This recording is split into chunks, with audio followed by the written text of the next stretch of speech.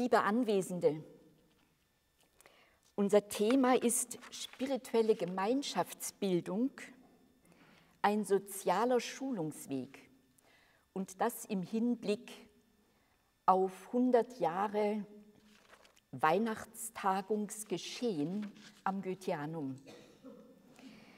Das sind also alles sehr gewichtige Worte, aber wenn wir darüber nachdenken, merken wir,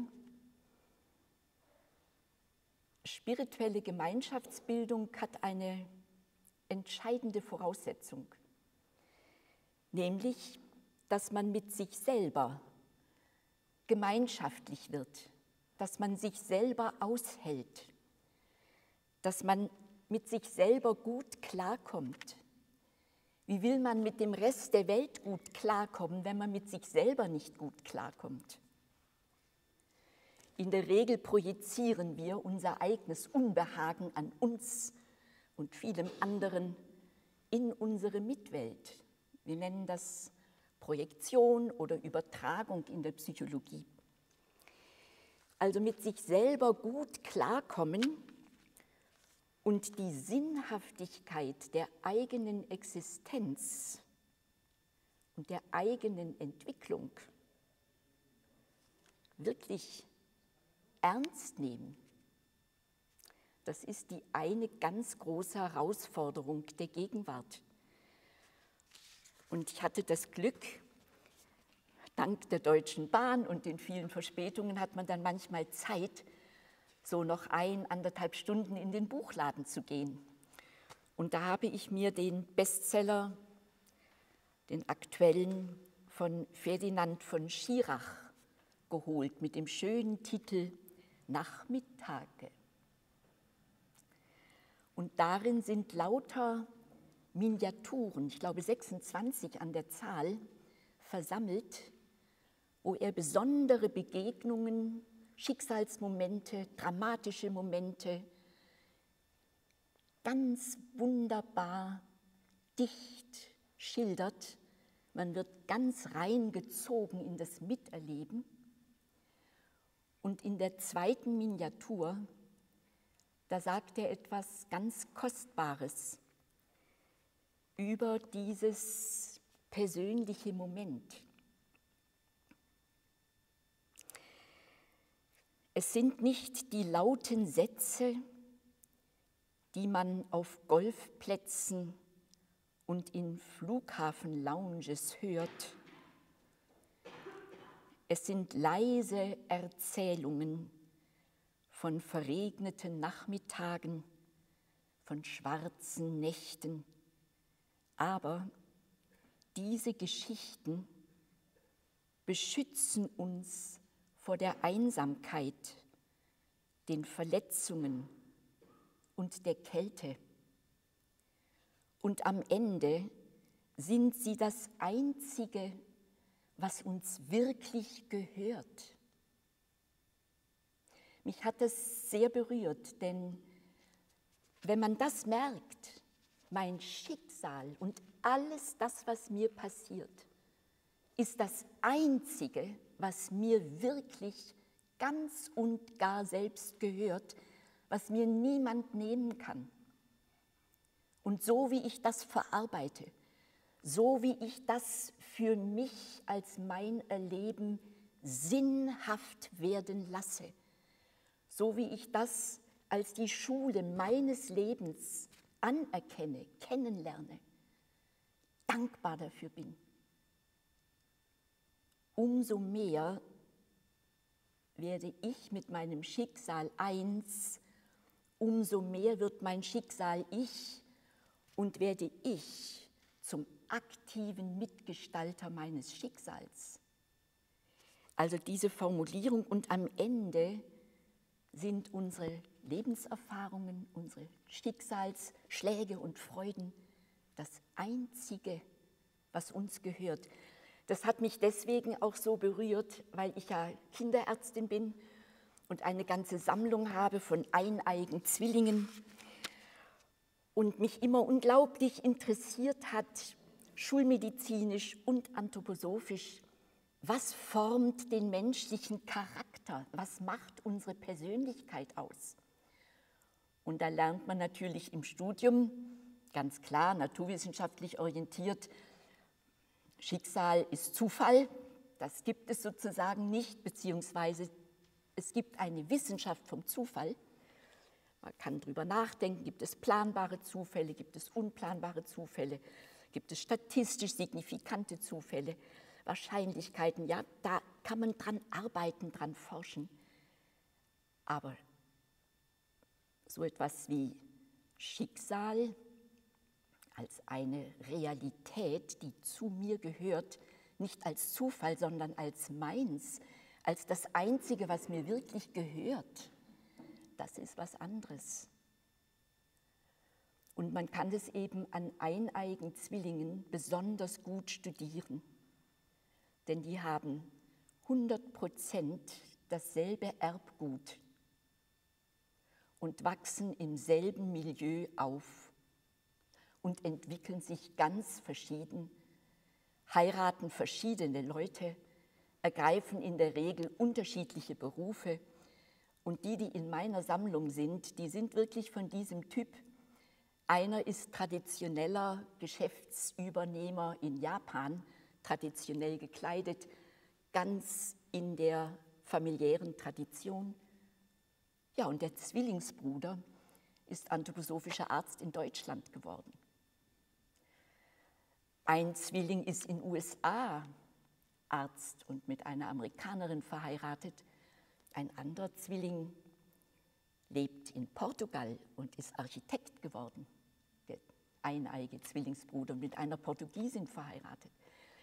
Also die Erfahrungsfelder, die Erlebnisse, dieses ganz Besondere, das ist eben so wunderbar verschieden. Jedenfalls das eine, worauf es ankommt, ist gewissermaßen eine Art Vorbedingung für die Befähigung zu spiritueller Gemeinschaftsbildung, dass man sich selbst nicht als Zufallswesen, sondern als spirituelles Wesen erkennt. Und dann kann man sich auch geistig, real mit anderen vereinigen. Sonst wären das ja sozusagen Zufallsgemeinschaften. Und dann ist die Frage, ob man das möchte. Also es ist einfach dann was ganz anderes. Ja, und deswegen schrieb Rudolf Steiner ein Entwicklungsbuch für das Individuum, wie erlangt man Erkenntnisse der höheren Welten. Ein wunderbares Buch zur Selbsterkenntnis, zur Selbstschulung, wo man eben zwei Dinge lernt. Einmal sich selber gut kennen und weiterentwickeln, sind schöne Übungen drin und Bedingungen für gesunde Lebensführung. Ja, und zum anderen lernt man mit der Welt Frieden machen. Steiner nannte es, dieses Buch entstand ja vor dem Ersten Weltkrieg, ein Antikriegsbuch. Er hoffte, dass wenn ganz viele Menschen sich auf diesen Entwicklungsweg begeben, dass dann ja, vielleicht dem Krieg vorgebeugt werden kann. Was ist Krieg? Was ist Polarisierung der Gesellschaft? Wie schafft man Feindbilder? Ja, es gibt ein wunderbares Buch von dem belgischen Psychiater und Psychologen und Psychotherapeuten Matthias Desmet, die Psychologie des Totalitarismus. Ja, da geht er dem ganz genau nach und seine Diagnose ist, er ist katholisch. Als ich das erste Kapitel las, dachte ich, na, vielleicht kennt er die Anthroposophie. Nein, braucht man überhaupt nicht kennen. Man braucht einfach nur eine spirituelle Orientierung, wie sie ja der Katholizismus wunderbar auch bietet. Jedenfalls er beschreibt darin, wenn ein Mensch keine spirituelle Orientierung hat, dann hat er Angst, ganz einfach. Dann erlebt er tief unbewusst Sinnlosigkeit seines Daseins. Im Bewusstsein lebt Karriere und Gewinnmaximierung und materielle Güter und Kampf ums Dasein natürlich und Freunde und Sex und Hunger und Durst und gutes Essen. Ja, das Leben ist ja voll und die digitalisierte Welt sowieso an Angeboten, dass man überhaupt nicht nachdenken muss über etwas Spirituelles. Es zwingt einen nichts. Aber tief unbewusst, da wo man das eben verdrängt, dass man ein vorgeburtliches und ein nachtodliches, rein spirituelles Wesen hat und ist, da rumort das und äußert sich als Frage, als Zweifel, als Unsicherheit, als Furcht, Ängstlichkeit. Und was macht man, wenn man Angst hat? Dann sucht man den Schuldigen für die Angst, aber natürlich nicht im eigenen unbewussten Innern, sondern draußen in den Feinden meiner Existenz, meiner Ansichten, meiner Sichtweisen. Und schon ist die Psychologie der Gegnerschaft, der Feindbilder geboren. Ich werde jetzt nicht weiter Herrn Desmet äh, zitieren, aber ich will nur sagen, es ist so gut verständlich, wer den Feind in sich nicht erkennt, wer nicht lernt, mit sich selber Frieden zu machen, der wird immer sein Kampfpotenzial, was er bei sich selber nicht anwendet, in der Selbstschulung, in der Selbstüberwindung. Er wird es projizieren und es äußerlich eben ausagieren. Und das erleben wir ja nicht nur im ersten, zweiten, sondern auch in den aktuellen Kriegen und zunehmenden Polarisierungen in unserer Gesellschaft. Und insofern hoffe ich auch, dass unser Vortrag, den wir jetzt hier heute Abend gemeinsam denken, vielleicht auch ein bisschen weiter reflektieren, auch ein kleiner Beitrag ist zur Friedenskultur. Denn spirituelle Gemeinschaften, wenn sie wirklich diesen Namen verdienen, sind Friedensgesellschaften. Ja, für das Soziale wird man dadurch reif, dass man das Individuelle einigermaßen beherrscht. Dann hat man Ressourcen frei, um sich um die Mitwelt zu kümmern, wirklich mit echter Empathie. Und Rudolf Steiner wurde ja ab 1900, 1901, 2 nicht nur spiritueller Lehrer, sondern auch ab 1902 Leiter von der Theosophischen Gesellschaft und ihrer esoterischen Schule, das heißt von Gemeinschaften, spirituellen Gemeinschaften. Dann wollte es das Schicksal, dass in dieser theosophischen Gesellschaft Polarisierungen auftraten. Und er hat dann daraus die Konsequenz gezogen, die Mitglieder zu fragen, ganz freilassend selbstverständlich. Es ist gesünder, wir machen jetzt zwei Gesellschaften. Die Theosophische Gesellschaft geht ohne Streit etwas verkleinert weiter. Und wir gründen eine anthroposophische Gesellschaft und grenzen uns jetzt wirklich auch namentlich ganz von der Theosophischen Gesellschaft und ihrer Tradition ab. Streitpunkt war, dass die Theosophen damals dachten, in dem wunderbaren Volksphilosophen und Humanisten Krishnamurti, ich habe seine Schriften zum großen Teil gelesen, wunderbare Ausführungen über das Leben, da sei der Christus wieder reinkarniert. Und Rudolf Steiner war durch seine eigene Christusbegegnung total überzeugt, dass dieses Christusereignis auf Golgatha, Jordantaufe, ein einmaliges Ereignis ist zur Erlösung, zur Verwandlung, zur Fortentwicklung der Menschheit und dass sich das nicht wiederholt. Also das war sozusagen der Streitpunkt. Aber man muss Menschen auch ihre Sichtweisen lassen und dann sagen, dann entwickelt ihr euch so weiter und wir entwickeln uns so weiter. Steiner hat auch mal auf die Frage, ob es einen Grund gäbe für Ehescheidungen, ganz klar gesagt, ja, wenn man beginnt, sich gegenseitig in der Entwicklung zu behindern. Und das gilt auch für soziale Gemeinschaften. Deswegen rede ich nie von Spaltung, wenn ein anthroposophischer Zweig plötzlich sich polarisiert. Die einen wollen so arbeiten, die anderen so. Dann sage ich immer, Mensch, sei doch froh. Dann haben wir schon zwei Zweige. Die einen arbeiten so, die anderen arbeiten so. Das vergrößert die Vielfalt unserer Gemeinschaft. Wunderbar. Ja, das muss nicht zum Krieg führen, sondern zur Fokussierung und dazu, dass man andere Beiträge liefert für das Kulturleben.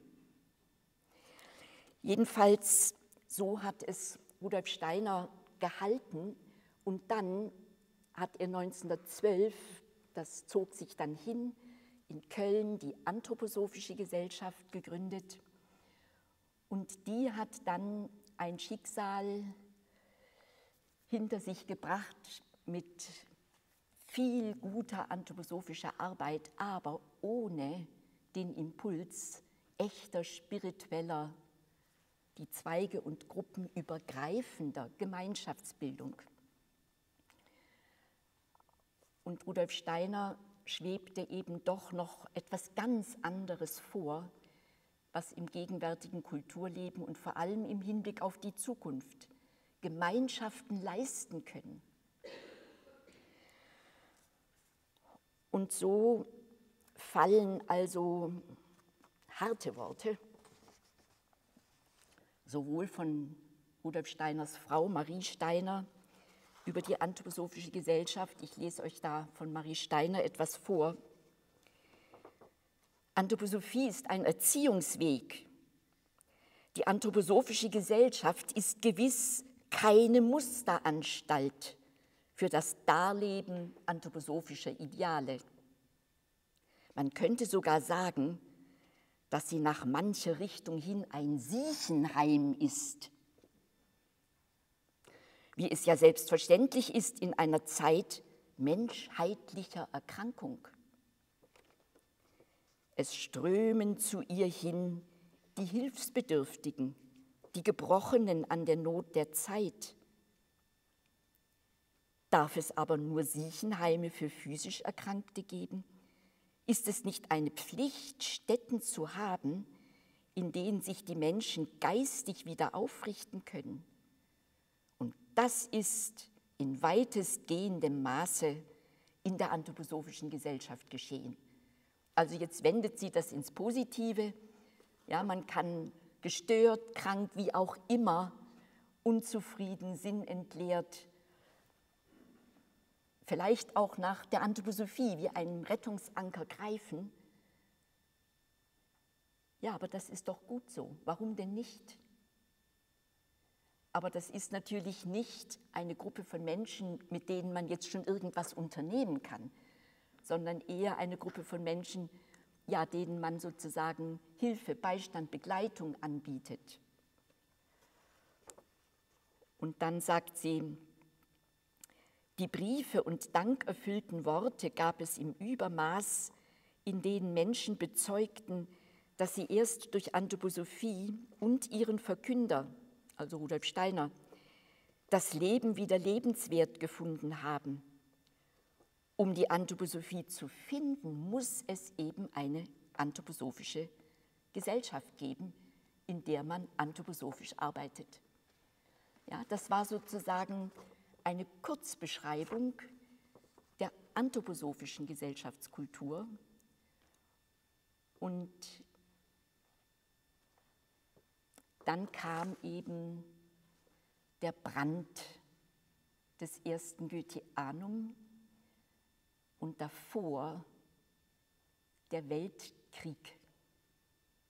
Er begann ja 1914 im dritten Lebensjahr dieser anthroposophischen Gesellschaft.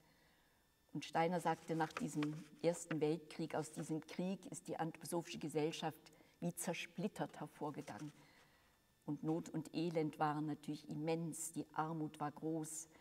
Der Nationalsozialismus, der dann später die Anthroposophie verboten hat, war im Kommen. Steiner sagte 1923, wenn diese Herren an die Macht kommen, kann ich deutschen Boden nicht mehr betreten. Es gab ja auch zwei Attentate auf sein Leben. Und dann reiste er nur noch inkognito in Deutschland, hielt keinerlei öffentliche Vorträge mehr.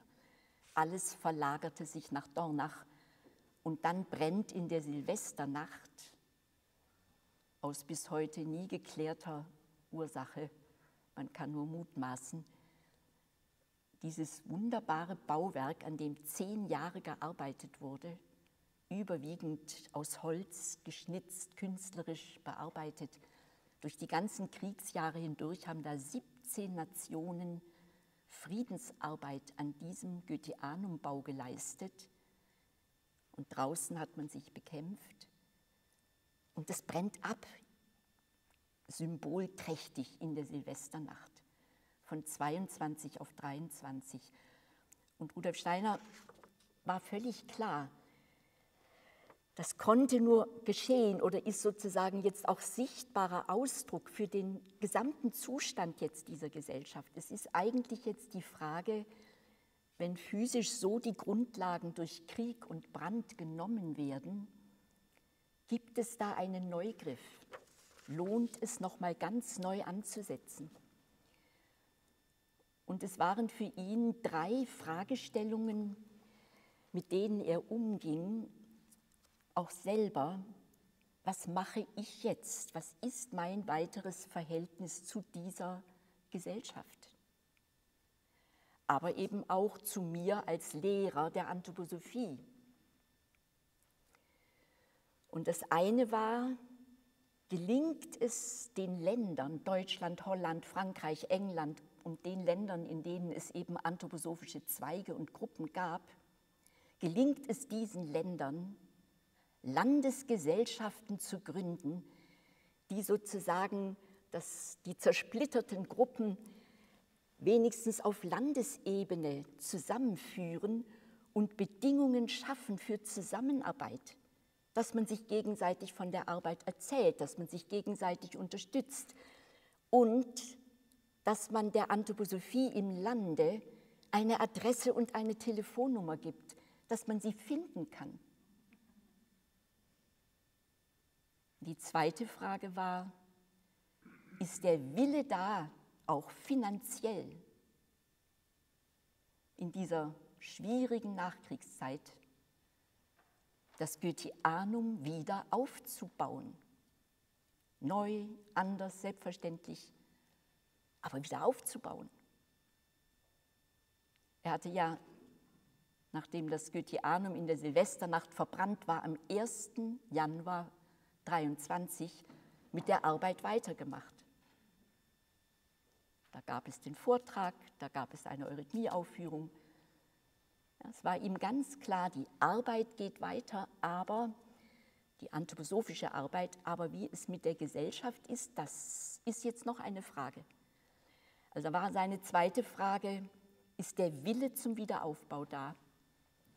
Und das wurde dann eben in Deutschland, aber vor allem in der Schweiz, wo eben die finanziellen Gegebenheiten am besten waren, von der Schweizer Landesgesellschaft positiv beschieden.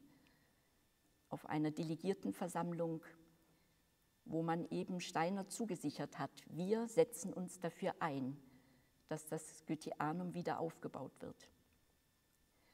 Und das Dritte war eben jetzt die Frage, die mit unserem Themenschwerpunkt heute Abend nach der spirituellen Gemeinschaftsbildung zusammenhängt. Die Frage, was ist das ganz wesentliche spirituelle Momentum, um diese Gesellschaft neu zu gründen, neu zu greifen, auf der Basis jetzt von Landesgesellschaften, am Goetheanum sozusagen einen Mittelpunkt zu schaffen, mit dem diese Landesgesellschaften sich verständigen und in Resonanz treten können. Und da verdanken wir es seiner Mitarbeiterin, der Ärztin, der holländischen Ärztin Ita Maria Wegmann, dass sie bei einem Kurs im Sommer 23 in Penman Mauer in England bzw. Wales die entscheidende Frage gestellt hat, von der Rudolf Steiner später dem ersten Generalsekretär der holländischen Landesgesellschaft, Willem Sellmans van Emmichhofen, sagte, diese Frage war für mich die Parsival-Frage, die es mir möglich gemacht hat, diese Neubegründung der Anthroposophischen Gesellschaft auf der Weihnachtstagung dann zum Ende des Jahres 23 vorzunehmen. Was hatte Wegmann gefragt? Rudolf Steiner sprach über Initiationserkenntnis, über die Einweihung in alter Zeit, in moderner Zeit, über die Notwendigkeit, sich geistig so zu entwickeln und zu schulen, dass man auf neue Art wieder das Wissen der Eingeweihten erlangen kann. Wie wird man initiationsreif? Wie versteht man sein Leben, seine Biografie als Initiationsweg, als Weg zur Todesschwelle hin, wo man dann in die geistige Welt eintritt? Bin ich da vorbereitet? Ja, das waren die Fragen. Und sie sagt ihm dann, ja, ich wünsche mir eine Medizin, die so war, die, beziehungsweise die so ist, wie in den alten Mysterien. Eine Mysterienmedizin, eine Tempelmedizin, aber in ganz moderner Form für die heutige Zeit. Sie war ja hervorragend ausgebildete Schulmedizinerin, Fachärztin für Gynäkologie und Allgemeinmedizin. Das war ihr Fundament, ganz klar. Aber sie war eine der ersten Schülerinnen Rudolf Steiners von 1902 ab. Esoterische Schülerin von ihm, auch sehr unterstützt in der persönlichen spirituellen Begleitung ihrer Entwicklung. Sie wusste, wovon sie sprach. Und er traute ihr das auch zu und er sagte dann zu ihr, dass sie das fragen, ist sehr bedeutungsvoll, aber das ist nicht so einfach, eine Mysterienmedizin zu begründen. Es braucht dazu Menschen, die das wollen, die das empfangen wollen, was dazu nötig ist, die das entwickeln wollen, was es dazu braucht kann man nicht so als Einzelner. Nein, dazu braucht es eine Gemeinschaft von Ärzten, die das will. Und da war Wegmann klar, ja, jetzt ist es an mir, mitzuhelfen, dass jüngere Ärzte, Kolleginnen Kollegen für diese Frage wach werden und hat ab da das mit sich herumgetragen, wann immer sie mit Kollegen und Kolleginnen eben zu tun hatte. Aber das war bis zu Weihnachten dann doch nicht so oft der Fall, weil sie ja Rudolf Steiner auf fast allen seiner Reisen begleitete. Sie sahen gemeinsam Patienten, sie unterstützte ihn neben Marie Steiner, Günter Wachsmuth, anderen, die dann auch später im Vorstand dieser neu begründeten Gesellschaft waren. Aber zwischen Sommer und Weihnachten verging eben auch noch mal viel auf und ab. Rudolf Steiner hat erst Mitte Dezember die Statuten für die neue Gesellschaft geschrieben. Da war er sozusagen definitiv entschieden, das zu machen. Und es gibt noch ein dokumentiertes Gespräch im November, wo er nochmal mit diesem ihm sehr befreundeten holländischen Generalsekretär Seilmans von Emmichhofen nochmal spricht, Wegmann war auch dabei, muss ich tatsächlich mit dieser Gesellschaft in dieser schwierigen Situation weitermachen? Oder wäre es für die Sache der Anthroposophie nicht besser, mit wenigen Menschen, die sie wirklich verstehen, weiterzumachen, sozusagen exklusiv zu werden? Und dann sagt Wegmann in diesem Gespräch, aber Herr Doktor, Sie können doch die Gesellschaft nicht allein lassen. Sie haben mir doch im Sommer in England gesagt, Und dann wiederum Rudolf Steiner zu ihr, ja, wenn Sie wirklich mithelfen, dann. Also auch da sieht man, Rudolf Steiner als hochkompetentes Individuum kann doch nicht zum Sozialgestalter werden, wenn keine Menschen da sind, die das wirklich wollen, die mithelfen. Er hat darunter gelitten, dass die Leute gerne seine Vorträge hörten und dann gingen sie weg. Aber kaum einer hat doch mal gefragt, Herr Doktor, können Sie eigentlich Hilfe brauchen? Können wir was tun?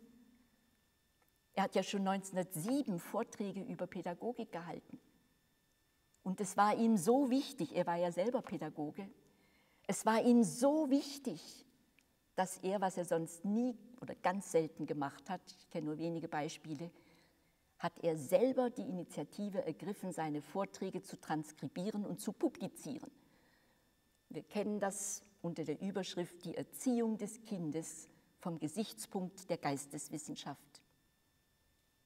Tja, da saßen viele Eltern, viele Pädagoginnen und Pädagogen, viele pädagogisch Interessierte, selbstverständlich in diesen Vorträgen, lasen auch die kleine Schrift.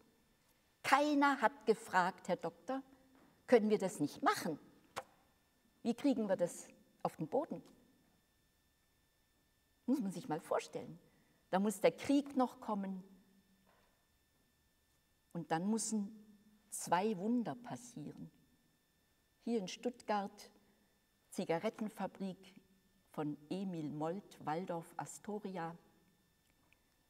Und als Anthroposoph wollte dieser Firmenchef Emil Molt sehr gerne für seine Mitarbeiter auch kulturell was tun und sie durften in der Arbeitszeit einmal in der Woche sozusagen in einer Werkstunde schöne Vorträge hören über Fragen, die sie selber haben. Und Herbert Hahn war sozusagen derjenige, der diese Vorträge hielt. Und nach einer Weile sagen dann diese Fabrikarbeiter zu Herbert Hahn, wissen Sie, wir sind eigentlich schon alt, einige waren auch noch Analphabeten. Unsere Kinder sollten das hören, was Sie hier uns so schön erzählen. Und das erste Wunder ist, dass dieser Herbert Hahn das nicht verdrängt, naja, was so diese Fabrikarbeiter mir da mal so im Smalltalk sagen. Nein, er sagt es dem Chef. Er sagt Emil Molt, stellen Sie sich vor, die wollen, dass ich was für ihre Kinder mache. Und dann passiert das zweite Wunder, dass Emil Molt das nicht verdrängt, sondern zu Steiner geht und sagt, wissen Sie, da wurden Hahn und ich jetzt gefragt, was für die Kinder der Fabrikarbeiter zu machen. Ich habe das Geld, Sie wissen wie, können wir das nicht machen. Ist doch unglaublich. Jetzt ist die Situation reif und es kommt auf den Boden. Das Geld hat leider nicht für den Kindergarten gereicht. Ja, der kam dann erst später. Steiner hat es sehr bedauert, aber die Schule, die ersten sieben Klassen konnten bereits im September 19 eröffnet werden. Und er hat auch mit Hilfe guter Beziehungen und so weiter es geschafft, mit den Behörden rasch sich einig zu werden. Das Gesetz musste ein bisschen geändert werden, dass die freien Schulen, so eine freie Waldorfschule eben legal entstehen kann. Es braucht Menschen, damit der Geist wirksam werden kann. Es braucht nicht nur Ideen, nein, bis ins Wirtschaftliche herein Arbeitsbereitschaft, ein gemeinsames Wollen. Wollen wir das, dann machen wir es. Und so ist es eben dann auch, man kann es sich, also ich kann mir das sehr gut vorstellen, dass Rudolf Steiner zwischen diesem Entschluss im Sommer, die Erneuerung der Mysterien, das ist ein dritter wichtiger Impuls, das legitimiert diesen Neugriff auch geistig. Die physische Grundlage ist da, Goetheanum. Die sozial-mitmenschliche Grundlage ist da, die Landesgesellschaften. Die spirituelle Einsicht ist da. Es braucht eine neue Mysterienkultur, eine Erziehung, die sich aus dem realen Geistesleben, nicht nur dem vorgestellten traditionellen, realisiert, eine Medizin, die eine Initiatenmedizin ist, die sich auch direkt aus der eigenen Geistsuche inspiriert, wo die Tätigen, später kamen ja dann noch Landwirtschaft und viel anderes dazu, wo sich die Tätigen selber auf den Entwicklungsweg machen und soweit sie es schon begreifen, die Forschungsergebnisse Rudolf Steiners in der Medizin, in der Landwirtschaft, in der Pädagogik ernst nehmen und umsetzen. Also das, was man noch sich nicht selber erarbeitet, kann man, weil es Steiner schon erarbeitet hat, sich verständlich machen. Man kann es in der Praxis ausprobieren und wenn man merkt, es ist gut, dann kann man es machen. Ja, und so war für Steiner plötzlich immer greifbarer, die Waldorfschule gab es schon, jetzt stellt Wegmann die Frage für die Medizin, jetzt war für ihn dieses dritte entscheidende Moment einer neuen Mysterienkultur in moderner Form, das war jetzt die entscheidende letzte Evidenzgrundlage für ihn, eben dann doch diesen Schritt zu machen. Und die Schweizer Landesgesellschaft lud dann ein, die machte das Programm, die bereitete alles vor, die bekam die Statuten, die wurden dann gedruckt für alle sieben bis 800 Teilnehmer, die da aus aller Welt anreisten, dass sie das dann schon haben und durchlesen können, schon vor der Tagung, schon bei Anreise war das sozusagen unter den Dokumenten, die man bekam. Haben alles die Schweizer da gemacht. Der, am Goetheanum gab es hier nur die Schreinerei und die den Brand überlebt hatte, ein kleines, eine Holzbaracke. Die Infrastruktur war ja weg. Da haben die Schweizer sehr viel geholfen und haben eben auch das Programm gedruckt, Internationale Anthroposophische Gesellschaft. Und dann beginnt Rudolf Steiner die Tagung mit den Worten am 24. Dezember um 10 Uhr mit dem Wort Ich. Man merkt, er ist ganz präsent und verbindlich da. Ich kenne ganz wenig Vorträge, die mit Ich anfangen von Steiner gibt es eigentlich so gut wie kaum. Ich darf Ihnen ankündigen, dass unsere Weihnachtstagung zur Begründung der allgemeinen anthroposophischen Gesellschaft hiermit eröffnet ist. Und dann führt er aus im späteren dass er das Wort international auf keinen Fall weiter hören will, geschweige denn irgendwo gedruckt sehen. Es ginge um eine allgemeine anthroposophische Gesellschaft. Am nächsten Tag, beziehungsweise nach einer Stunde, da war eine kleine Pause dazwischen, kommt die Fortsetzung, 11.15 Uhr meine lieben Freunde, wir beginnen unsere Weihnachtstagung zur Begründung der anthroposophischen Gesellschaft in einer neuen Form im Anblick eines scharfen Kontrastes. Wir haben Sie einladen müssen, meine lieben Freunde, zum Besuch eines Trümmerhaufens, nämlich dem verbrannten Goetheanum.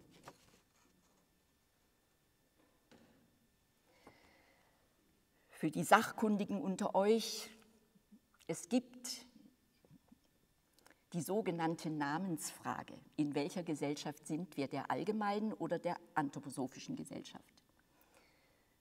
Ja. Es gibt eben beide, aber sie sind total verbunden.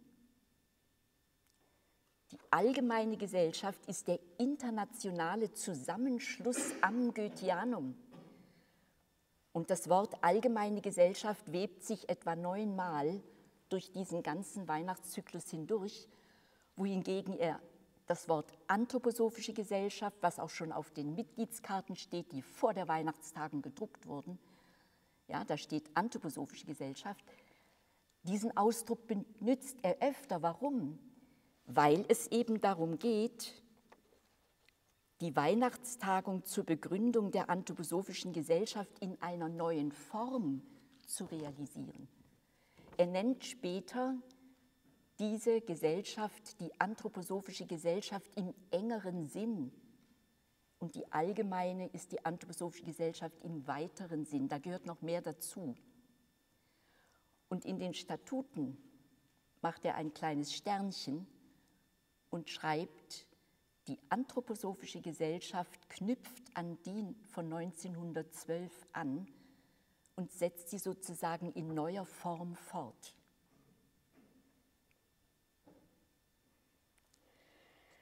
Ich gehe jetzt nicht weiter ein auf das Konstitutionsproblem, aber ich möchte gerne allen Interessierten dieses Büchlein empfehlen. In dem habe ich nämlich alle kritischen Fragen, die mir begegnet sind und auf die ich versuchte, konstruktiv zu antworten, versammelt. Es ist deswegen auch im Dialogstil gehalten. Manche sagen, es läse sich sogar spannend. Sie hätten es an einem Abend durchgelesen. Es hat mich total gefreut. Jedenfalls, das gibt es auch auf Englisch, inzwischen auch auf Italienisch. Ich freue mich total über das Interesse. Und wer da etwas vermisst oder meint, seine Frage sei da nicht genügend berührt, freue ich mich auch über Post. Weil mir scheint es wichtig, dass in den nächsten 100 Jahren diese allgemeine anthroposophische Gesellschaft besser verstanden wird und wirklich uns darin unterstützt, eine spirituelle, weltweite Arbeitsgemeinschaft zu werden.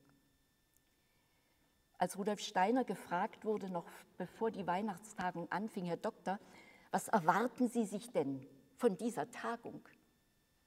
Da war seine Antwort ganz schlicht, dass sich die Gesellschaft eine Aufgabe stellt, dass sie was tut. Und das Motiv geht durch die ganze Weihnachtstagung durch. Und es steht auch im ersten Statutenparagraphen.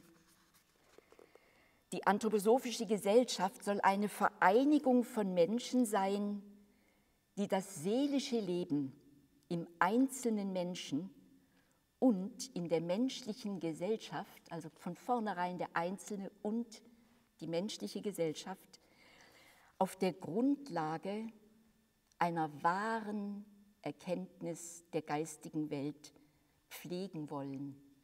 Und wenn man dann liest im Mitgliederparagraph, wer darf da Mitglied werden,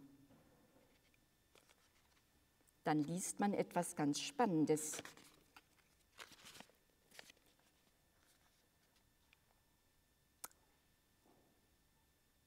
Die anthroposophische Gesellschaft ist keine Geheimgesellschaft, sondern eine durchaus öffentliche. Ihr Mitglied kann jeder Mann ohne Unterschied der Nation, des Standes, der Religion, der wissenschaftlichen oder künstlerischen Überzeugung werden. Stellt euch mal vor, pluraler, diverser geht es doch gar nicht. Ich kann Materialist sein, ich kann katholisch sein, ich kann Buddhist sein, völlig egal. Wenn ich Interesse habe für meinen spirituellen Entwicklungsweg, bereichert das meinen Materialismus, meine sonstige spirituelle religiöse Orientierung.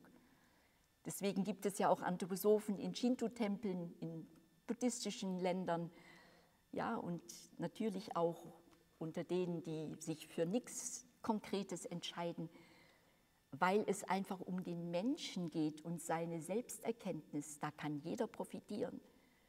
Ja, Anthroposophie ist keine Religion, selbstverständlich nicht, auch nicht irgendeine Philosophie. Sie ist ein Weg zur Selbsterkenntnis. Ein Weg, mich selbst als Mensch zu verstehen, leiblich, seelisch, geistig. Und davon kann jeder profitieren. Aber das bedeutet, diverser kann man sich keine Gesellschaft vorstellen. Ja, wie oft habe ich in anthroposophischen Zusammenhängen gehört, das ist doch keine anthroposophische Kunst und das darf man doch nicht machen. Ja, dann denke ich immer, warum kennen die die Statuten nicht? Natürlich darf man das machen, man darf alles machen. Das heißt, sogar jedes Mitglied hat das Recht, für seinen eigenen Zweig, den es gegründet hat, oder seine eigene Fachgruppe, eigene Statuten zu machen. Die einzige Bedingung ist, dass sie nicht direkt dem widersprechen, was die Weihnachtsstatuten sind. Dann macht es natürlich keinen Sinn. Ja, und wenn man keinen Mitgliedsbeitrag macht, zahlen will, macht es auch keinen Sinn. Denn das Goetheanum braucht Unterstützung. Also dann soll man sein eigen Ding machen. Also ein kleiner Mitgliedsbeitrag und eine eigene Initiative, egal welcher Couleur, dann ist man ein voll aktives Mitglied dieser Gesellschaft. Da sind wir, liebe Freunde und Freundinnen, noch ganz weit davon entfernt, dass das unser Lebensgefühl in der anthroposophischen Gesellschaft ist. Auch jetzt, wo es in manchen kleinen Gruppen um das Konstitutionsproblem geht und jeder seinen Fanclub gründet und Newsletter in alle Welt verschickt. Ja, es geht um Polarisierung, es geht um Vorwürfe, es geht um Unterstellungen, es geht um Besserwisserei.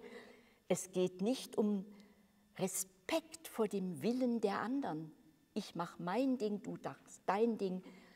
Aber wenn wir uns füreinander interessieren, können wir uns doch ganz toll unterhalten und voneinander lernen. Steiner nannte das das Erwachen am seelisch-geistigen des wirklich anderen. Der ist Gott sei Dank nicht so wie ich, weil sonst bestätige ich doch nur mich selbst. Ja, ich muss sagen, in unserer Gesellschaft kann man am allerbesten, und ich kenne inzwischen alles Mögliche auf der Welt, am allerbesten soziale Kompetenz lernen, weil wir so kompliziert und verschieden sind, im Guten wie im Schlechten. Ja? Man kann so viel lernen, wenn man sich für die Probleme, die da sind, so interessiert, dass man sie lösen will und nicht, dass man sie vertiefen will. Aber auch das Vertiefen ist erlaubt, denn ihr wisst ja alle, das gibt es. Manche Menschen leben davon, dass sie die bestehenden Probleme vertiefen. Ja, muss man aushalten. Man muss es verstehen und dann kann man es auch aushalten. Das hängt halt mit der Freiheit zusammen, die ja bei den Anthroposophen großgeschrieben ist. Aber ihr merkt, mich begeistern diese Statuten, denn sie beschreiben ein Gesellschaftsmodell, wo jeder machen darf, was er will, in der Erkenntnis ganz individuell aber im Wollen baut man an einem gemeinsamen, nämlich an einer menschlicheren Kultur, die man realisieren will. Und deswegen unterstützt man die Hochschule, wo diese kulturkreativen Potenziale entwickelt werden, in Pädagogik, Medizin, Landwirtschaft, wo man ständig daran arbeitet, durch einen kleinen Beitrag. Steiner formuliert es so bescheiden in den Statuten, man sieht in einer Einrichtung, wie es das Goetheanum ist, etwas Berechtigtes. Man muss es nicht mal gut finden. Man spricht ihm nur die Existenzberechtigung nicht ab. Und dann kann man doch mit gutem Gewissen, selbst wenn man nicht alles gut findet, was am Goetheanum passiert, einen kleinen Mitgliedsbeitrag zahlen. Also freier und souveräner kann man mit seinen Mitmenschen nicht umgehen. Aber es birgt natürlich diese Art von anthroposophischer Gesellschaft die Riesengefahr, dass man wieder ein Konglomerat zusammenhangloser Gruppen wird, wo eine Gruppe es besser weiß als die andere. Ja, wie wird man aus einem Chaos, jetzt Otto und Rudolf Steiner während der Weihnachtstagung, wie wird man aus einem Chaos zusammenhangloser Gruppen zu einer Gesellschaft mit einem geistigen Inhalt.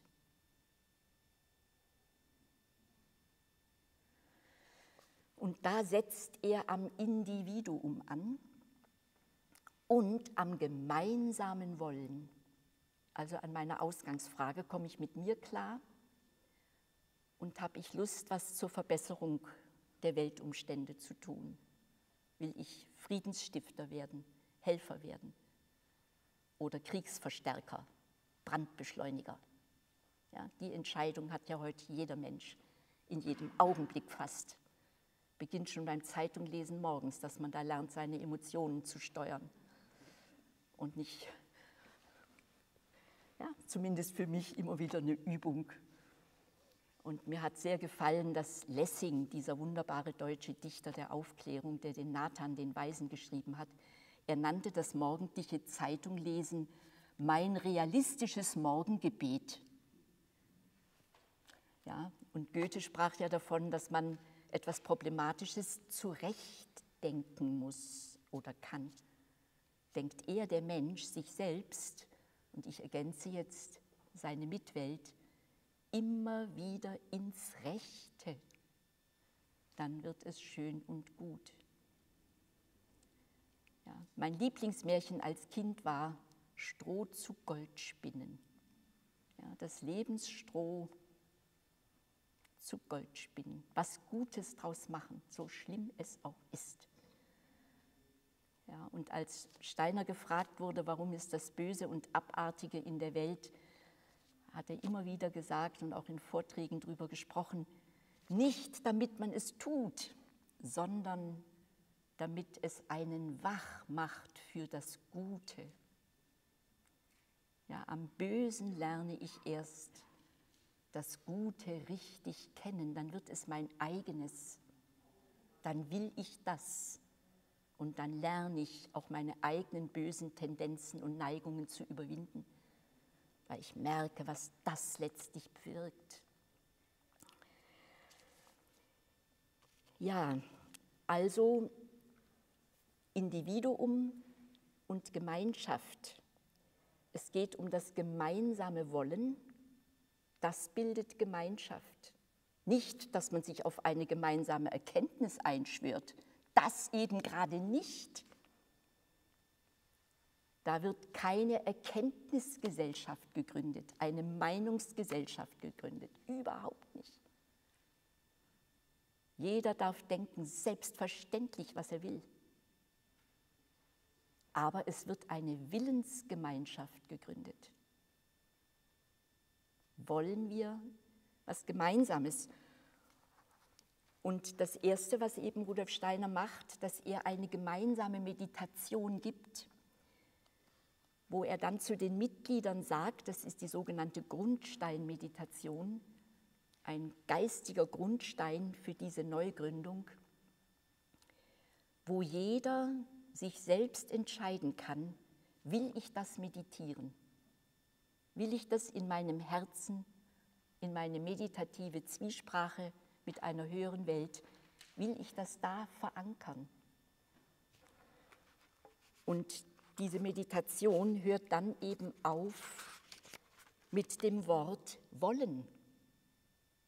Die ersten drei Teile, da spricht sich die Menschenseele selber an. Das sind drei wunderbare Meditationen zur Selbsterkenntnis im Denken, Fühlen und Wollen und wie unser Gedankenleben, unser Gefühlsleben, unser Willensleben mit der geistigen Welt zusammenhängt, mit der Engelwelt, mit der göttlichen Welt. Das ist sozusagen das Erste. Will ich mich da verbinden mit dieser höheren Welt in der eigenen Selbsterkenntnis? Und dann kommt ein vierter Teil, der auch dann deutlich macht, aus welchem Geist diese Erneuerung des Mysterienwesens, dem sich dann die Hochschule widmet, auf die ich gleich noch komme, welchem Geist sozusagen diese Hochschule und diese Gemeinschaft gewidmet ist. Und das ist eben sehr weihnachtlich. Die christliche Weihnachtsbotschaft lautet ja, die geistige Offenbarung aus den Höhen und Friede den Erdenmenschen, die eines guten Willens sind. Und das wird hier aufgegriffen. Und weil es um eine Neubegründung alter Mysterien geht. Die vorchristlichen Mysterien werden jetzt nachchristlich, nach einer Latenzzeit, die uns den Materialismus gebracht hat und die Gottes- und Geistferne, wird jetzt neu ein Licht, ein Mysterienlicht entzündet. Und das bezeichnet Rudolf Steiner hier als Zeitenwende. Also die Zeitenwende historisch ist das Erscheinen des Christus auf der Erde.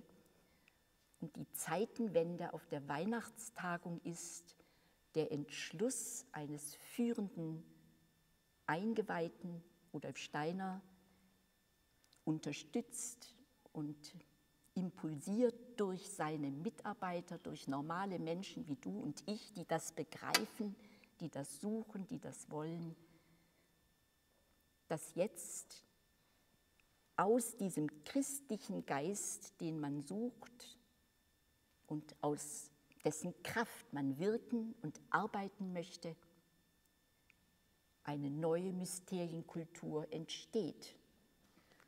Und dieses Gemeinschaftsbildende vom Ich und Du zum Wir, das wird dann in diesem letzten Teil ganz wunderbar zum Ausdruck gebracht.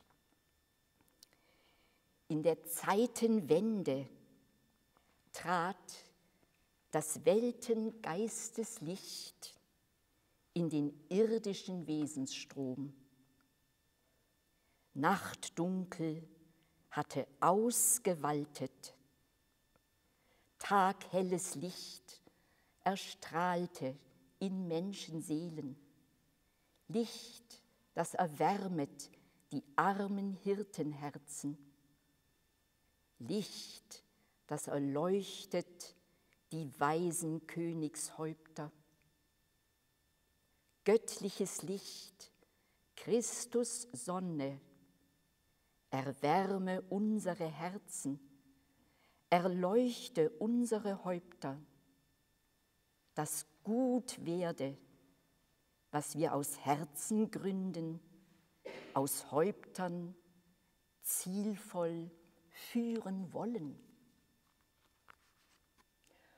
Und da ist sozusagen die Brücke gegeben. Wenn man das meditiert, merkt man, man kommt sozusagen von der eigenen Erkenntnissuche über den Christusimpuls. Man sucht den Christus in mir und merkt aber, der Christus gehört ja der ganzen Menschheit. Das heißt, man kommt vom eigenen Ich zum Menschheitlichen. Und diese Frage, wie komme ich von eigenen Ich, von meiner eigenen Biografie, meinem Beruf, meinem Leben zu dem Selbstverständnis, dass ich auch Teil der Menschheit bin. Ja, das hat ja in der Nachkriegszeit, nach dem Zweiten Weltkrieg, keiner so prägnant formuliert wie der Ethikphilosoph Hans Jonas in seinem Buch Das Prinzip Verantwortung. Da ruft er uns gleich am Anfang seines Buches alle auf, das ist für mich Mysterienkultur, was Jonas da schreibt, ein Beitrag dazu. Er ruft uns alle auf, heute sich schon zu überlegen, was kann ich, jeder einzelne Mensch, dazu beitragen, dass der ganz große Atomkrieg nicht kommt dass überhaupt das mit der atomaren Wirtschaft aufhört, dass die Menschen zur Vernunft kommen. Was kann ich dazu beitragen? Damals, als er das schrieb, machte man noch oberirdische Atomversuche. Und die ersten Atombomben waren ja im Zweiten Weltkrieg am Ende gefallen, haben mit zur Beendigung beigetragen. Entsetzlich, seine Mutter starb in Auschwitz. Ja, er wusste, wovon er sprach. Und es ist ein Aufruf zur Mitverantwortung am Menschheitsganzen. Unsäglich schön. Ja, und was sagt Rudolf Steiner über diese neuen Mysterien? Da lesen wir schon sehr früh in einem Vortrag, einem öffentlichen Vortrag in Nürnberg 1908 über die Apokalypse des Johannes, also noch weit vor dem Ersten Weltkrieg, was die neuen Mysterien sind.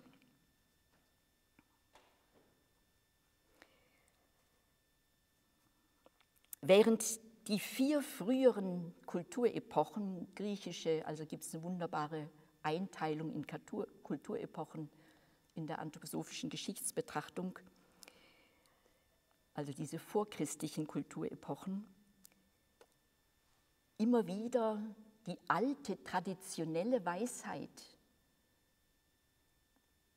aktualisiert, aber im Grunde fortgesetzt haben. Ist es heute anders? Wir können nicht fortsetzen. Wir leben in einer Zeit, das führt er aus, wo der Materialismus die Verbindung mit der geistigen Welt abgeschnitten hat. Und es ist auch gut so, denn nur dadurch sind wir frei, uns wirklich selbst zu entscheiden, welchem Geist will ich mich verbinden, welche Art Mensch will ich werden. Ich fühle mich von niemand mehr gezwungen. Kein Gott kann mir Angst machen. Nein, ich entscheide selbst.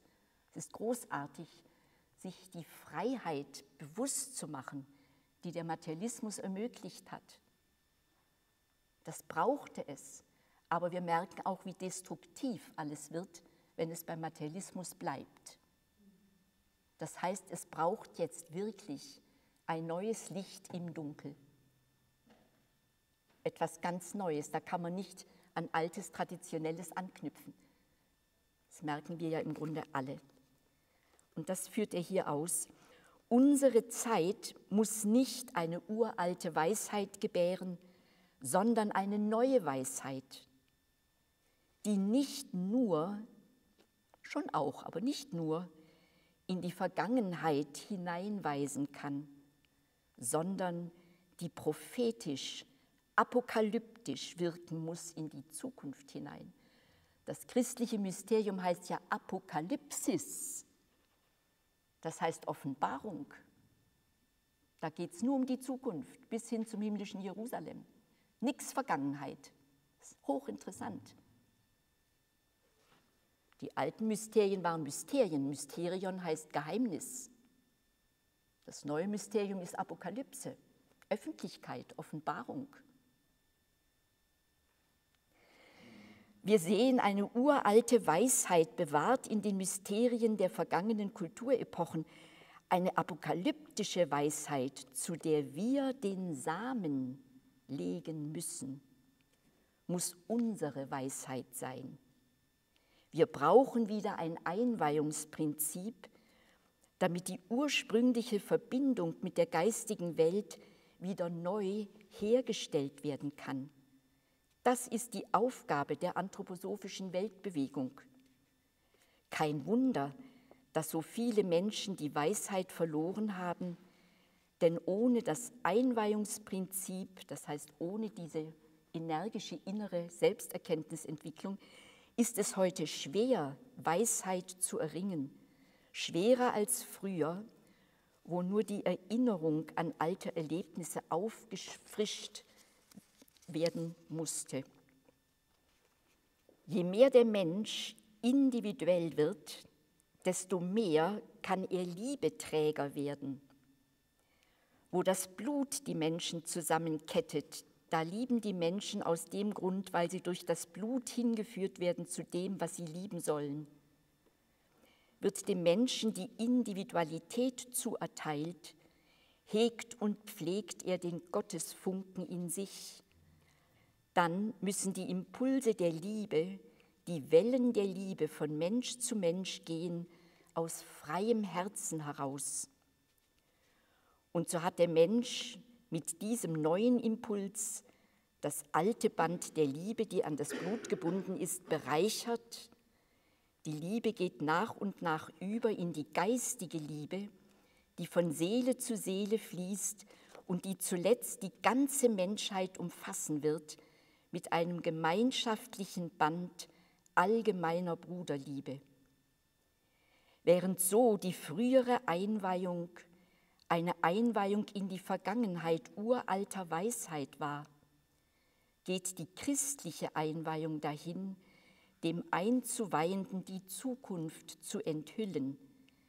Das ist das Notwendige, dass der Mensch eingeweiht wird für seine Entschuldigung, dass der Mensch nicht nur eingeweiht wird für seine Weisheit, für sein Gemüt, sondern dass er eingeweiht wird für seinen Willen. Denn dadurch weiß er, was er tun soll, dass er sich Ziele setzen kann für die Zukunft. Das ist wie Hans Jonas. Jeder Mensch überlegt sich, was kann ich beitragen zur Menschheit, dass es gut kommt für die Zukunft. Der sinnliche Alltagsmensch setzt sich Ziele für den Nachmittag, für den Abend, den Morgen. Der geistige Mensch vermag aus den geistigen Prinzipien heraus ferne Ziele sich zu setzen, die seinen Willen durchpulsen, seine Kräfte lebendig machen. So der Menschheit Ziele setzen, das heißt im wahren höchsten Sinn, im Sinn des ursprünglichen christlichen Prinzips, das Christentum esoterisch erfassen. So hat es derjenige verstanden, der das große Prinzip der Einweihung des Willens geschrieben hat, der die Apokalypse geschrieben hat. Man versteht die Apokalypse schlecht, wenn man sie nicht versteht als den Impulsgeber für die Zukunft, für das Handeln, für die Tat. Ja, deswegen stellt uns die Apokalypse ständig in diese Entscheidung rein, in welche Richtung willst du dich entwickeln, welchem Geist willst du dienen, wie willst du dich entscheiden. Sie appelliert an unseren freien Entschluss. Und dadurch geben wir der Erde die Zukunft, die wir wollen. Und da arbeiten alle Menschen unbewusst oder bewusst mit. Und für Rudolf Steiner war eben wesentlich dieses bewusste Mitarbeiten. Und jetzt noch zum Abschluss ein Wort über, was ist eigentlich so eine allgemeine anthroposophische Gesellschaft? Was ist eine esoterische Mysterienschule, wie es die Freie Hochschule für Geisteswissenschaft ist? Wem dient dieses Gemeine, Gemeinsame? Es gibt einen Vortragszusammenhang, in dem Rudolf Steiner über drei Gesellschaftsformen spricht. Eine Gesellschaftsform der Vergangenheit, eine Gesellschaftsform der Gegenwart, eine Gesellschaftsform der Zukunft. Ihr findet das in dem Zyklus von 1919, Soziale Zukunft heißt dieser Zyklus. Und da ist die Gesellschaftsform der Vergangenheit selbstverständlich pyramidal. Hier ist das Volk und da ist der Priester, der Chef, der Kaiser, der Aristokrat. Und er nennt es die Machtgesellschaft. Einer macht und hat die Macht. Und die anderen bewundern den einen, so wie heute die Jugendlichen die Influencer, und finden sich in diesem Menschen, der jetzt mit 2,6 Millionen Follower eine Riesenmacht hat über die Bewusstseine. Ja? Das, so lebt sich heute die Machtgesellschaft und auch noch die Sehnsucht nach Macht, selbstverständlich da. Aber richtig modern wird es erst, wenn jeder einzelne Mensch merkt, ich muss mich selbst beherrschen lernen. Ich muss eigenständig werden, möglichst unabhängig von den Mächtigen innerlich. Ja, äußerlich geht es nicht immer, aber innerlich schon. Und je mehr Menschen das machen, umso mehr kommt man dann in die Gesellschaftsform der Gegenwart.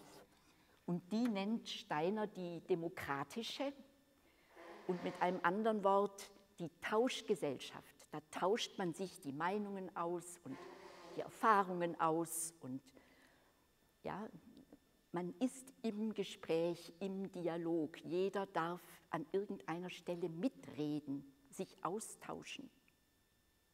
Das ist die Gesellschaftsform, die wir unserer Gegenwart wünschen, wo die Würde des Einzelnen juristisch unantastbar wird was so wieder gefährdet ist heute und auch erst nach dem Zweiten Weltkrieg ideal wurde.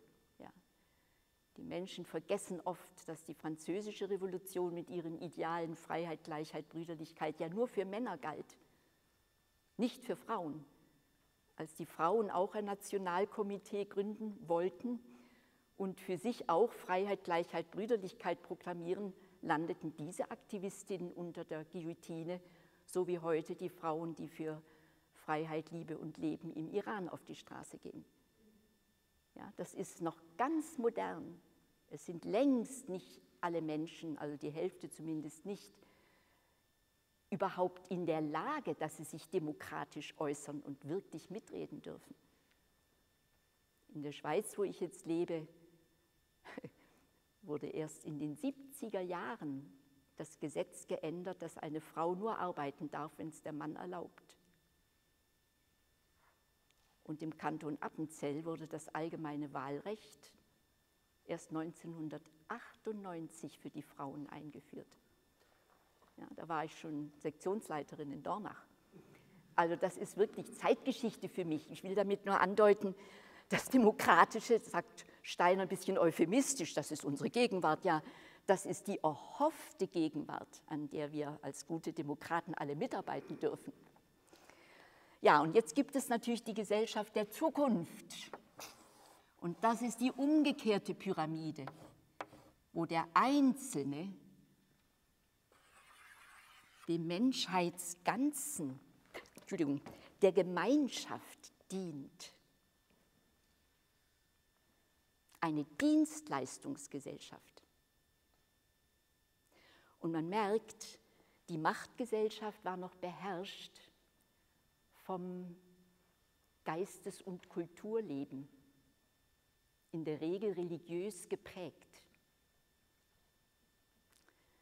Die demokratische Gesellschaft ist säkular. Da ist man frei in der Wahl der Religion. Da ist man im Austausch und versucht, den Mehrheiten gerecht zu werden und die Minderheiten in der Opposition überleben zu lassen. Da sind auch Quere gestattet, wenn man es ernst nimmt, solange sie nicht gemeingefährlich sind. In dieser Gesellschaft, also da geht es um das einander gerecht werden, das ist sehr irdisch. Das ist nicht spirituell konnotiert, sondern sehr irdisch konnotiert. Man wird einander gerecht, das ist Demokratie. Und hier geht es eben um das Wirtschaftsleben, um die Brüderlichkeit.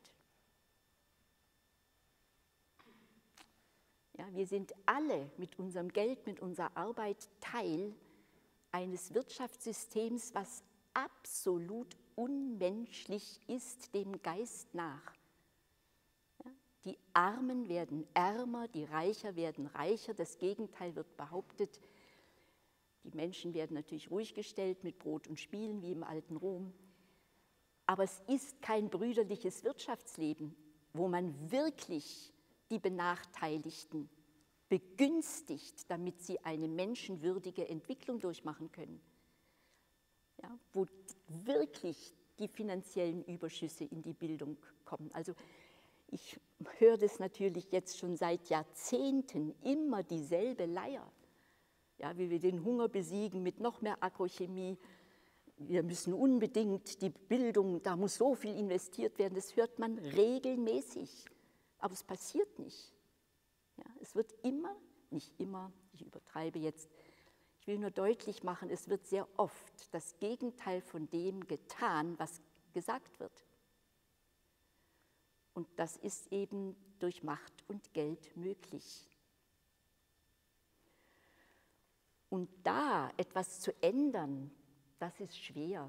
Es sind ja auch prominente Menschen wie Alfred Herrhausen, der erste Chef der Deutschen Bank, ermordet worden, weil er gewagt hat, Menschlichkeit in dieses Bankensystem auf höchster Ebene zu bringen. Er hat sich nämlich dafür eingesetzt, dass die Mexikaner ihre Schulden erlassen bekommen, so wie die Deutschen nach dem Zweiten Weltkrieg. Er hat gesagt, wir wären in Deutschland nie wieder auf die Beine gekommen, wenn man uns nicht die Schulden an einem bestimmten Zeitpunkt erlassen hätte. Die Restschulden, wir haben natürlich viel Wiedergutmachen gezahlt, aber es war ja uferlos, was wir an Schaden angerichtet haben. Da wären wir heute noch dran. Ja, und dasselbe wünscht er sich für die Mexikaner. Und wir wissen, wie es mit Mexiko dann seitdem weitergegangen ist. Wurde nicht gewollt. Er wurde mit einer Autobombe aus dem Weg geräumt. Also es ist auch gar nicht so, wir kennen es auch von Kennedy, ja, wenn, es ist nicht, ich will nicht sagen, dass jeder, der was Gutes will, in seinem Leben gefährdet ist, aber es sind einfach starke Kräfte am Werk, bestimmte Ziele durchzusetzen. Und deswegen geht es in erster Linie darum, erstens mal kann man so ein System nicht von heute auf morgen ändern. Manchmal helfen Kriege, dass danach viele Menschen gute, menschliche, humane Ideen haben.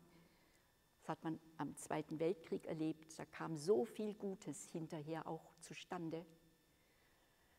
Aber es braucht vor allem die Einsicht, dass eine Gemeingesellschaft für die Zukunft nötig ist, wo der Einzelne seinen Beitrag zum Ganzen leistet und selbst verantwortlich ist, mitverantwortet.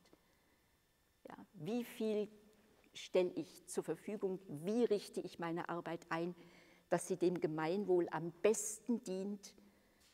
Bis dahin wage ich es, mein eigenes Unternehmen aus einem ganz anderen Geist, zum Beispiel dem Geist der Dreigliederung des sozialen Organismus, zu führen Jedenfalls die drei Ideale der französischen Revolution stellt Rudolf Steiner auf die Zeitachse der Geschichte und sagt, wenn man sich in der Gegenwart verorten will, gesellschaftlich, dann braucht es einen realistischen Blick in die Vergangenheit, wo wir herkommen, eine Kultur der Menschenwürde in der Gegenwart und harte Arbeit dass es immer brüderlicher zugeht unter den Menschen, unter den Völkern, unter den Religionen.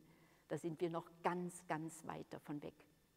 Das ist wirklich, da können wir nur, wie er sagt, Samen legen für eine apokalyptische Zukunft, die nur positiv kommen wird, wenn viele Menschen sich entscheiden, welchem Geist will ich dienen, dem Geist der Brüderlichkeit oder dem Geist der Macht und Gewinnmaximierung das ist ein anderer Geist. Der Geist des Christentums ist ein anderer Geist als der Geist der Macht und der Gewinnmaximierung. Das heißt, der Mensch wird frei, sich zu entscheiden, welchem Geiste will ich dienen. Und dafür hat Rudolf Steiner die Freie Hochschule für Geisteswissenschaft gegründet, wo das Christentum zur Inspirationsquelle wird, eine christliche Landwirtschaft, eine christliche Medizin, eine christliche Pädagogik, aber eben nicht im religiösen Sinn. Ja, in Bangkok gibt es eine wunderbare Waldorfschule, ja, die wird von Buddhisten selbstverständlich geleitet und ist ganz buddhistisch. Und trotzdem ist die Kultur reine Menschlichkeit, die da gepflegt wird. Deswegen hat Rudolf Steiner immer wieder ja betont, das Christentum ist einerseits und hat natürlich auch angefangen als eine Religion, aber es geht weit darüber hinaus. Das Christentum ist eine Haltung, ein Lebensstil, eine Dienstleistung am Menschheitsganzen, so wie er das hier beschrieben hat. Und das Letzte, was ich gerne noch zum Abschluss sagen möchte, wenn man sich jetzt fragt, wie kann ich denn individuelle, spirituelle Wegsuche und soziale Gemeinschaftsbildung, wie kann ich das sozusagen wirklich verstehen? Gibt es da für mich ein Erkenntnisinstrument dafür, wie das zusammenhängt und wie ich mich da selber einordnen kann? Und da möchte ich in aller Kürze an das anthroposophische Menschenbild erinnern, dass unsere Konstitution eben aus vier wunderbaren Gesetzeszusammenhängen besteht, die materielle physische Körperlichkeit und ihre Gesetze, dann die Lebenszeit, das Leben selber und seine Gesetze, die Rhythmen, dieser wunderbare Zusammenhang, dass im Leben alles mit allem zusammenhängt. Da gibt es eben keine Fakten, die ich unter das Mikroskop legen kann. Es gibt es nur im Physischen. Da, wo ich Leben töte, kann ich einen Fakt realisieren. Leben ist immer komplexer Zusammenhang, entdeckt auch die heutige neue Biologie in wunderbarer Weise, entwickelt neue Forschungsmethoden für Zusammenhänge. Ja, ganz andere Gesetzlichkeit, die eben mit dem Leben zusammenhängt.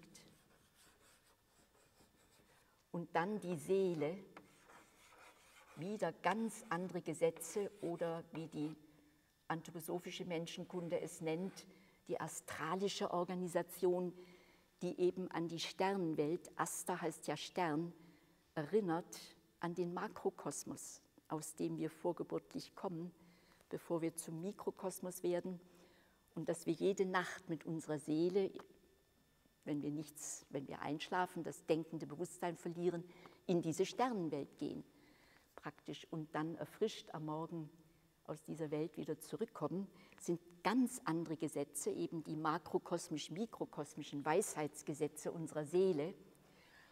Und dann die Ich-Organisation, die bewirkt, dass wir Menschen von Natur aus unvollkommen bleiben und entwicklungsbedürftig.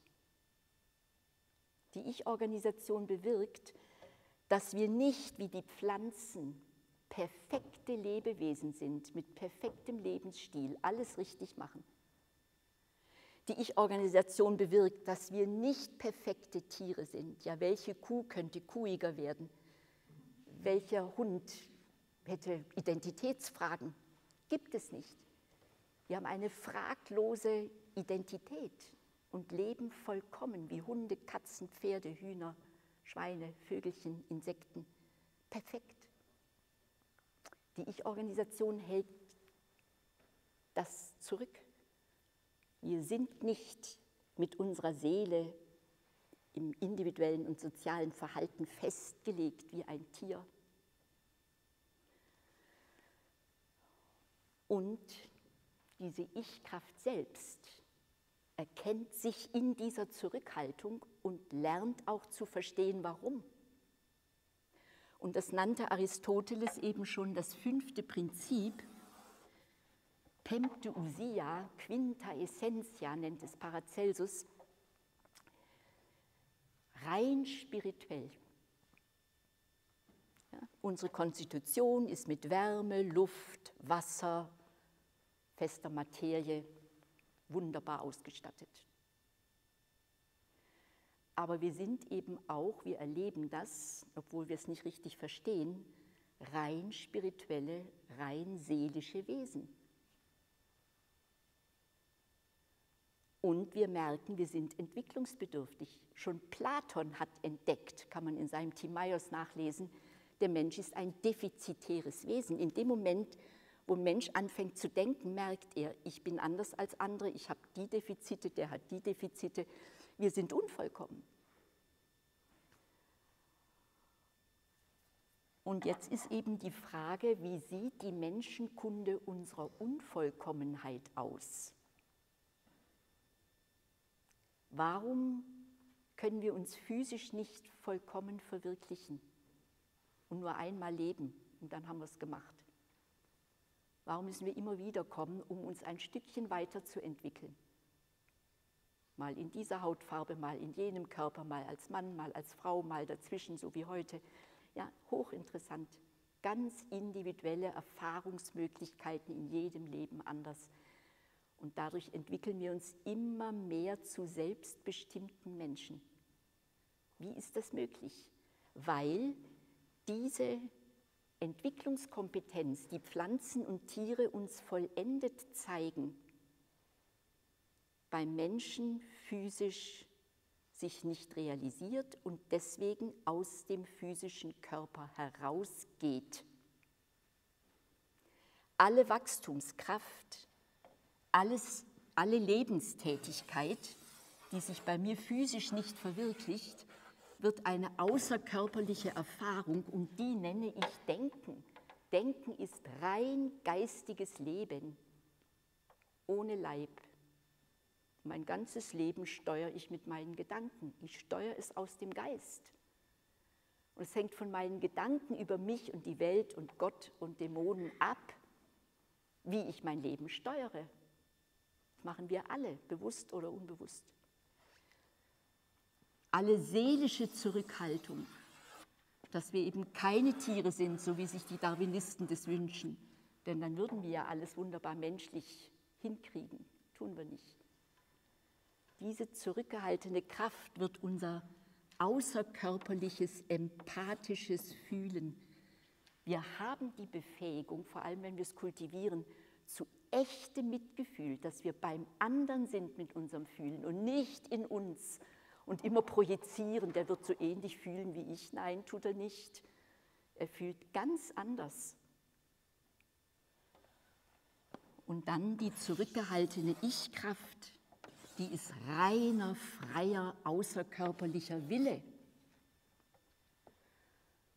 Ja, das, was wir aus den Nahtodeserlebnissen kennen, dass Menschen im Schock den Leib von unten sehen und sich hier plötzlich ganz hell und leicht erleben, in ihrem Denken, Fühlen und Wollen, dass sie dadurch Mauern gehen können und nicht mehr materiell sind, rein spirituell sind, aber bewusst, erwacht im Geist sozusagen, noch mehr als im normalen Denken, Fühlen, Wollen, Bewusstsein, was wir da kennen.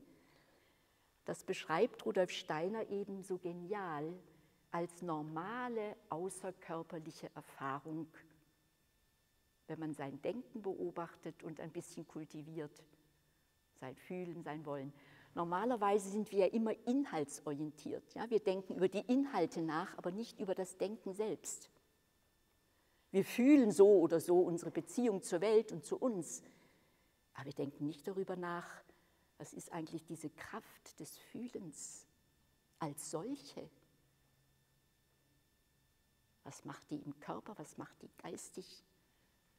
Wenn das näher interessiert, ich habe ein Buch geschrieben, Kita, Kindergarten und Schule als Orte gesunder Entwicklung. Und da beschreibe ich das ganz genau, wie sich dieses Außerkörperliche im Laufe der Kindheits- und Entwicklungsjahre herausbildet, bis wir dann als Erwachsene so leben. Das heißt, wir können, wenn wir mit so einer Menschenkunde in der Selbsterkenntnis umgehen, uns klar machen, Gedanken sind unsichtbare Lebenskräfte. Und je nachdem, ob wir mit einem Verstorbenen, mit einem Engelwesen, mit unserem Gottesbild in gedankliche Resonanz gehen oder, wie es das Christentum so nahelegt, wenn Jesus Christus sich identifiziert, ich bin die Wahrheit, ich bin unter euch, wenn ihr euch liebt, die Wahrheit wird euch frei machen. Ja, wenn man allein diese drei Ideale denkt, liebt und ein bisschen realisiert, ist man bereits bewusst geistig unterwegs und entwickelt sich und seine Mitwelt anders und sich mit Menschen zu vereinigen, die dieses gemeinsame Ziel haben, das Gute zu wollen für die Zukunft der Menschheit und mit allen anderen Strömungen zusammenzuarbeiten, die auch von einem so humanen Geist beseelt sind, da einen Beitrag zu leisten. Das war dieser Impuls der Weihnachtstagung, dafür sozusagen die sozialen Voraussetzungen zu schaffen.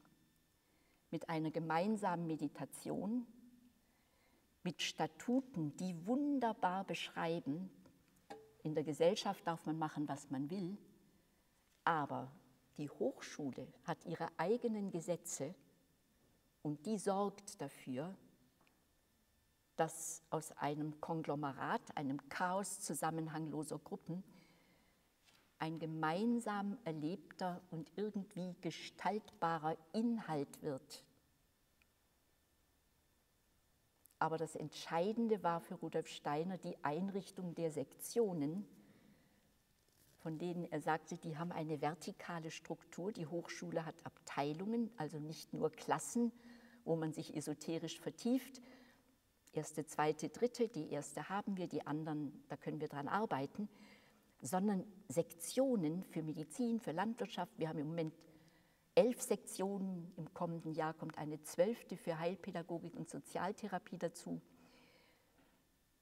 Was bedeuten diese Sektionen? Da sagt Steiner, die greifen von oben, das heißt von der Verankerung im spirituellen Ideal bis nach unten ins Leben durch.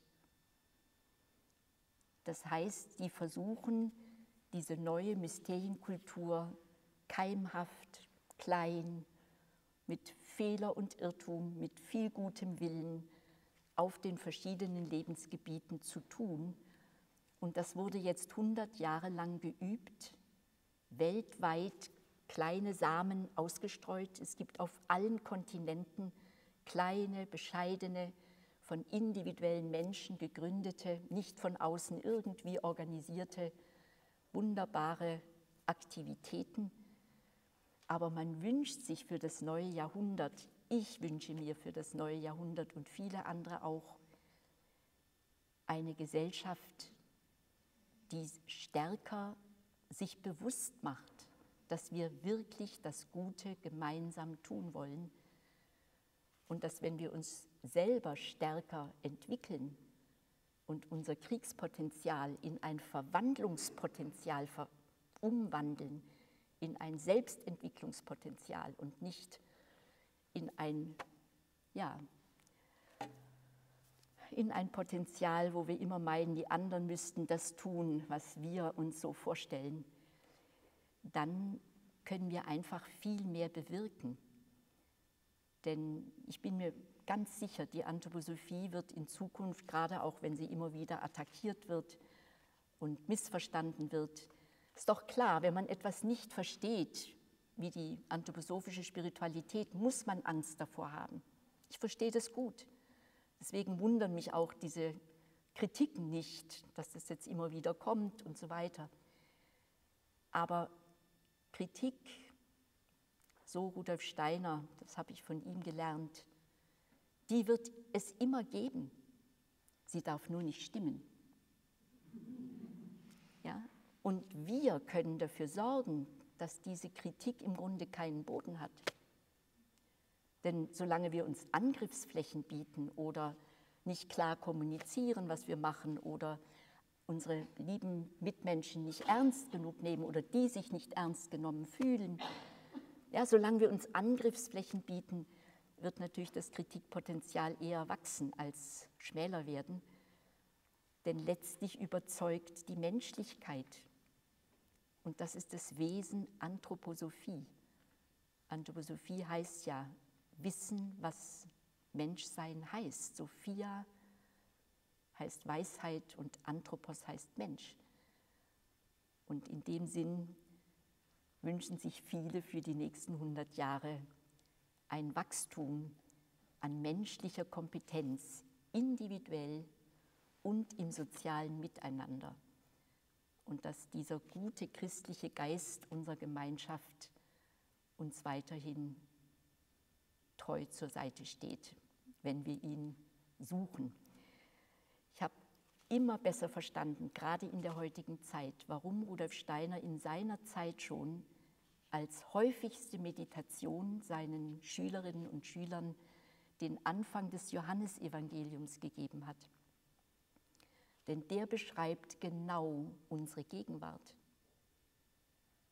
Dreimal wird davon gesprochen, wie das Licht in die Finsternis scheint, bis hin in die Finsternis der eigenen Seele. Eis taidia elten heißt es im Griechischen. Das Licht kam in sein Eigentum in das Ich. Aber hoi idioi nokat elabon. Es wurde nicht aufgenommen. Also es wird dreimal gesagt, menschheitlich, kulturell, individuell, dass das Licht vergeblich in die Finsternis scheint. Die Finsternis nimmt es nicht auf. Und dann dieser Umschwung, ja, dieses Nicht-Aufnehmen was da dreimal kommt, das ist die Botschaft der Freiheit. Ja, es ist gut, dass die Finsternis es nicht aufnimmt. Endlich fühlen sich auch die Menschen ganz frei vom Licht und von Gott. Sie sind wirklich frei, sie nehmen es nicht auf. Und jetzt können sie sich ganz frei entscheiden, Gottes Kinder zu werden. Die es aber aufnehmen, denen gab das Licht die Macht, sich als Gottes Kinder zu offenbaren. Und das sind die, die sich nicht auf das Blut berufen, auf den Willen des Fleisches, auf menschlichen Willen. Nein, sie sind aus Wasser und Geist wiedergeboren, sie sind aus Gott geboren. Ja, Im dritten Kapitel Johannes Evangelium heißt es ja zu Nikodemus nachts, der fragt, wie kann ich das ewige Leben erben? Da sagt Jesus, du musst wiedergeboren werden. Ich sagt Nikodemus, ich kann doch nicht zurück in den Mutterleib. Und sagt, er musst du auch nicht. Aus Wasser und Geist denken und leben. Das heißt, es geht um diese Wiedergeburt, um diese zweite Geburt, damit wir dem zweiten Tod, von dem die Apokalypse spricht, vorbeugen. Die zweite Geburt lässt uns erwachen in unserem außerkörperlichen Denken, Fühlen und Wollen. Da beginnen wir unser ewiges Leben individuell bewusst, nehmen wir das Licht auf und lassen es in unsere eigene Finsternis aktiv werden. Und dann haben wir, wenn wir sterben, eben nicht den Bewusstseinsverlust, den sich viele Menschen natürlich wünschen, dass sie dann da einschlafen. Aber es ist schon auch schön, wenn man da wach bleiben kann, weil man sich schon im Leben geistig kennengelernt hat. Das Leben ist eine Embryonalentwicklung, eine seelisch-geistige für ein bewusstes Sterben. Und da sehe ich eben diese schöne Verbindung auch zwischen dem Individuellen und diesem Erwachen für die Bedürfnisse der Gemeinschaft im Lichte dieser christlichen Prophetie. Ihr dürft alle lernen, euch zu entscheiden, wollt ihr im Finstern bleiben oder das Licht frei gewählt wirksam werden lassen durch euch oder wollt ihr das nicht? Und insofern können diese Bemerkungen vielleicht auch dazu beitragen, dass wir zu diesem Weihnachtsfest, dieses wunderbare im Urbeginne war das Wort, noch ein bisschen mehr in die heutige Zeit reinstellen. Ich hatte so das Gefühl, das ist eine ganz moderne, hochaktuelle Menschheitsmeditation. Ja, vielen Dank fürs Zuhören.